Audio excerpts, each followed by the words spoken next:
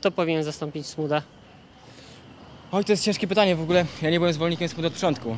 Ja myślę, że Piotr Nowak jest dobrym kandydatem. Wiem, że wszyscy chcą Dudka. Może Henryk Kasperczak. Jeśli nie Kasperczak, no to jakiś Holender. Może adwokat. Może go wyrzucą.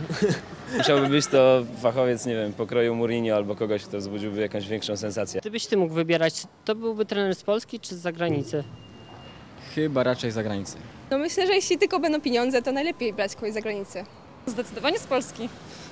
Dlaczego miałby trenować nas ktoś inny? Mamy swoich tak dobrych, że wystarczy. Już po prostu Skorża jeszcze mógłby tam y, trochę też potrenować, ale po prostu Smuda jest lepszy. To musi być trener z zewnątrz. Przykro mi to powiedzieć, ale to musi być trener spoza Polski, który zupełnie chłodnym okiem, bez żadnych zależności yy, popatrzy na polską drużynę, na polską drużynę nie tylko, ale w ogóle na kandydatów do polskiej drużyny. Pan by dał szansę trenerowi Smudzie? Oczywiście, bo był bardzo dobrym trenerem. Tylko po prostu piłkarze zawiedli.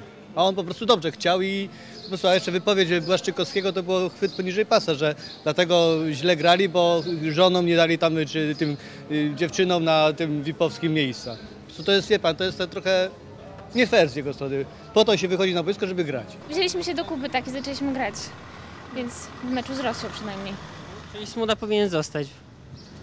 Ja jestem babą, nie powinnam się wypowiadać, ale tak. Trzeba go zwolnić. Nie, nieprawda, nieprawda. Musimy mu dać szansę, może się postara i, i, jakoś wyjdziemy, wyjdziemy naprzód, będzie lepiej. To w ogóle jest śmieszne, prawda? Bo w sobotę jakby Smuda mecz wygrał, to byłby dzisiaj królem, a dzisiaj ten sam Smuda, wszyscy go tam ziemię wdeptują i ten to jest takie polskie, także mógłby zostać trenerem i spoko.